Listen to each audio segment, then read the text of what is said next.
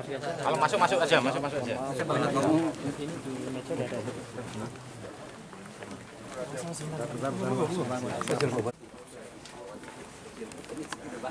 Asid ini. Ini emang Iya. Ini udah jadi. Yang ini yang ini udah jadi ya. Merahnya merah. Terima. Terima. Punya margin bukan orang. Siap dikasih. Oke, yuk, enak yuk.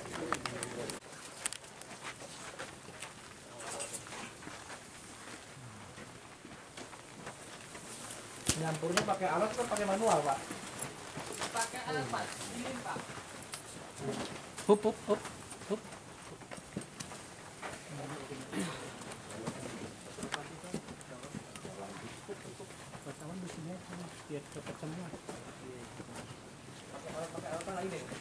Kaoli garas sama kalau sudah pemisah itu pakai itu ya tepuk sini terus dano jadi butiran-butiran itu pak Pon. ya terus keluar dikemas lewat ayam sepenuh itu terus Ngemasnya di mana? Di bawah. Terus nggak jadi, kasih masuk gini. Dari sini ada meter? jalannya juga lurus sepanjang jalan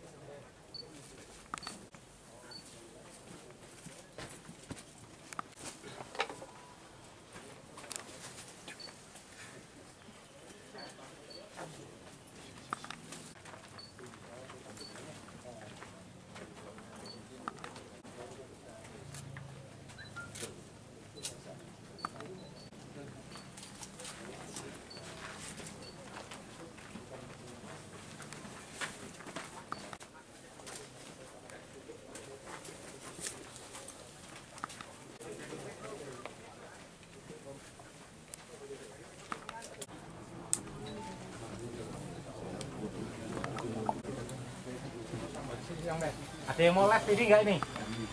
Radio? Live? Live. Ya.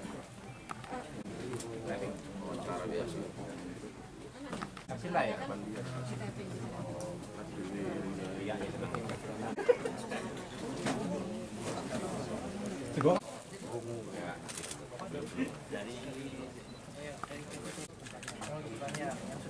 Belakang nol ya.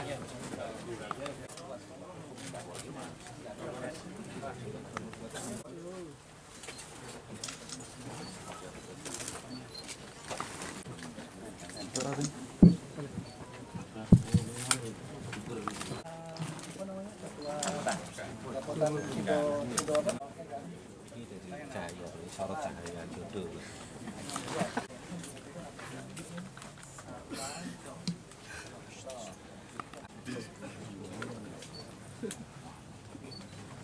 Apa namanya eh, merek yang merek yang asli merek yang dipalsukan berapa merek-merek lagi yang digunakan untuk menyablon menyablon daripada kemasannya atau istilahnya tidak bisa membedakan mana yang asli dan mana yang palsu secara manual. Untuk itu, eh, karena kami ditunjuk dari Kementan untuk mengawasi mutu pupuk,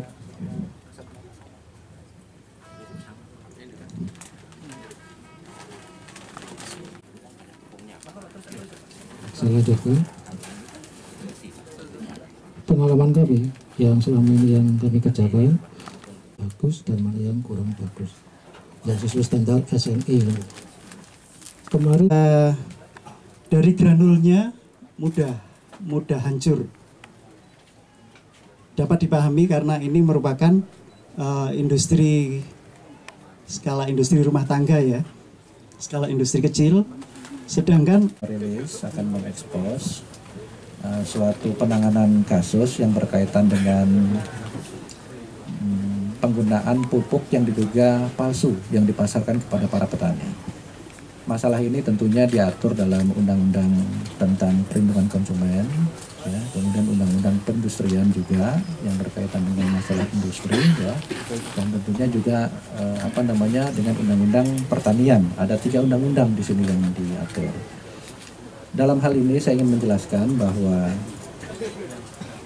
kasus pemalsuan atau kasus pupuk yang diduga palsu ini berawal dari laporan petani di Klaten dari kelompok tani Sido Maju di Klaten ya Di sana petani merasakan kebutuhan di awal bulan Januari yang lalu itu kebutuhan pupuk sangat diperlukan mengingat sudah masuk musim tanam Pak ya. Sudah masuk pemupukan musim tanam pemupukan.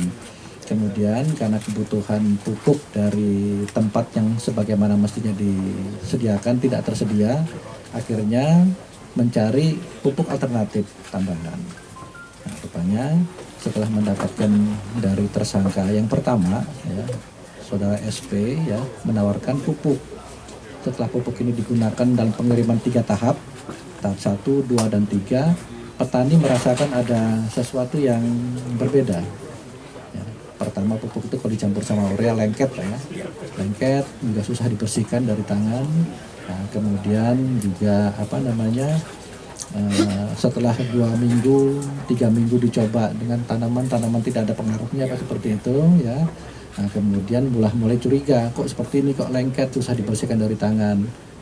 Dari kemasannya juga uh, apa namanya tulisan SNI-nya lebih kecil, garis birunya juga terbalik gitu. Nah, kemudian juga dengan apa namanya uh, jahitan benangnya itu ya tidak serapih, tidak serapat daripada pupuk yang sebelum-sebelumnya digunakan. Kemudian dilaporkan kepada Polres Klaten, Kapolres Klaten langsung memimpin proses penyidikan dilakukan uji laboratorium di Balai Pengkajian Teknologi Pertanian di Yogyakarta. Hasilnya menunjukkan bahwa seluruhnya di bawah daripada standar yang harusnya kadar N-nya 14 ini 0, sekian Pak ya, tidak sampai satu, jauh sekali. Artinya ini belum memenuhi standar sebagai pupuk. Satu, belum memenuhi standar sebagai pupuk.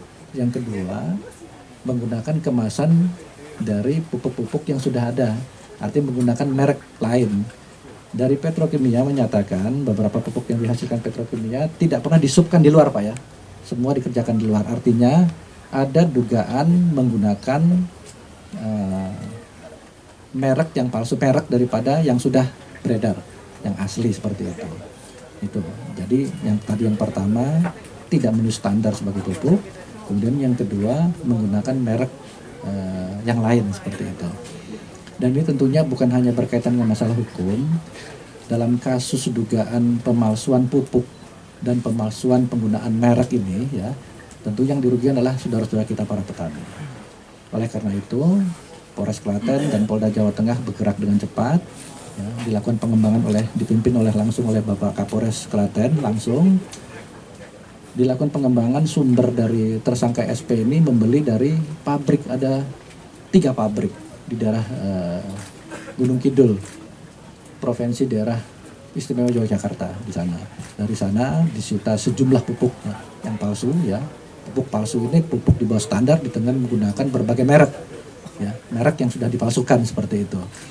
Ada tiga tersangka di sana ya. dua tersangka satu tersangka yang menawarkan dua tersangka sebagai pemilik pabrik dari pupuk yang palsu kemudian dikembangkan lagi setelah ditemukan tiga pabrik di daerah Gunung Kidul provinsi daerah istimewa Yogyakarta dikembangkan ditemukan lagi empat pabrik di Wonogiri di sini yang berkaitan dengan pabrik di sana dilihat daripada modusnya dilihat daripada cara produksinya memiliki alat peralatan dan Eh, bahan baku yang sama. Ini akan didalami oleh penyidik nanti ya, penyidik. Di Wonogiri sini ditemukan ada empat uh, pabrik dengan dua pemilik, satu pemilik memiliki tiga pabrik pupuk ya, kemudian satu lagi dimiliki oleh satu orang uh, pupuk. Di sini bahan-bahan uh, yang digunakan tentunya tidak memenuhi standar bagi seorang pupuk untuk membuat daripada pupuk dan yang terpenting penggunaan daripada merek yang palsu. Dari semua itu tadi saya sampaikan tentunya yang dirugikan adalah para petani, para petani. Tadi saya uh, berdiskusi dengan uh, Bapak Bupati, Pak Bupati, Pak JK Bupati Wonogiri. Memang ada celah, ada peluang untuk memasarkan pupuk seperti ini. Di mana memang kebutuhan pupuk itu sendiri uh, masih belum memadai Pak ya untuk kebutuhan tiga kali masa tanam. Ya, dalam satu tahun ada tiga kali masa tanam. Masa tanam pertama mungkin nggak ada masalah, kuota cukup Masa tanam kedua kuotanya juga masih cukup. Masa tanam pertama kuotanya cukup, kuotanya kurang sebetulnya Pak ya. Mengambil kuota dalam masa tanam kedua. Yang jadi masalah ketika masa tanam ketiga kuotanya sudah habis sehingga memerlukan pupuk tambahan atau pupuk alternatif. Di situlah celahnya pasar di situ. Nah ini eh, di samping penyidikan ini untuk proses penegakan hukum, tapi juga terpenting bagi kami, bagi kepolisian adalah yang pertama, ya, kami ingin menghentikan peredaran pupuk yang membahayakan, yang tidak bermanfaat, ya, bermanfaat dan mungkin bisa membahayakan daripada saudara-saudara kami petani dalam eh, melaksanakan kegiatan bercocok tanam.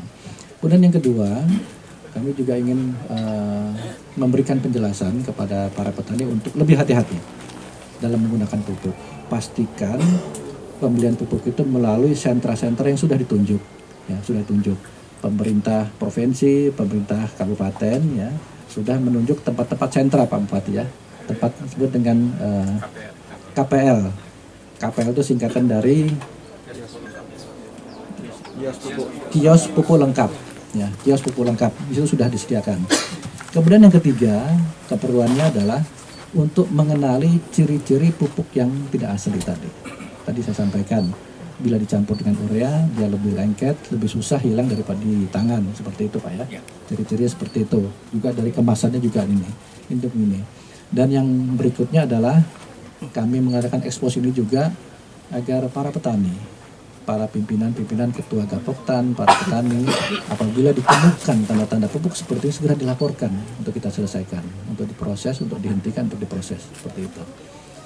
Itu beberapa hal yang ingin saya sampaikan dalam rilis ini, dalam proses penyidikan yang dilakukan, ya ada tujuh pabrik yang dilakukan eh, penyitaan oleh Polda Jawa Tengah dan seluruh jajarannya, ditambah dengan eh, tujuh orang tersangka yang sudah diamankan, yang saya amankan. Itu beberapa yang saya sampaikan dalam kesempatan ini. Tentunya saya akan memberikan kesempatan sebelum Pak Bupati, Pak Bupati, saya akan kesempatan dulu kepada Pak kepada petani dulu ya, untuk memberikan penjelasan ya, menjelaskan